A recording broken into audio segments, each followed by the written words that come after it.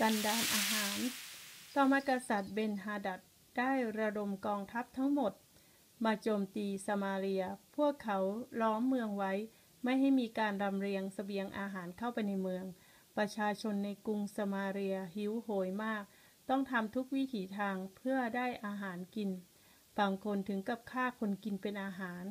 กษัตริย์เยโฮรัมถือว่าเอลิชาเป็นต้นเหตุให้เกิดความทุกข์ร้อนครั้งนี้ พระองค์ตรัสว่าถ้าพบเจ้าผู้เผยพระวจนะนั้น เราจะฆ่ามันซะ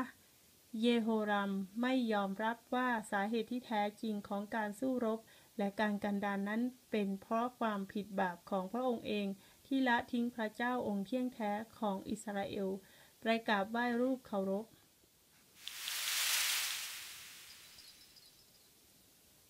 แต่ถึงแม้เยโฮรัมจะไม่ใช่คนดีนัก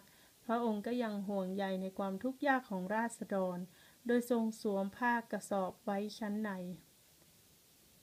เพื่อเตือนพระองค์ถึงความทุกข์ยากของประชาชน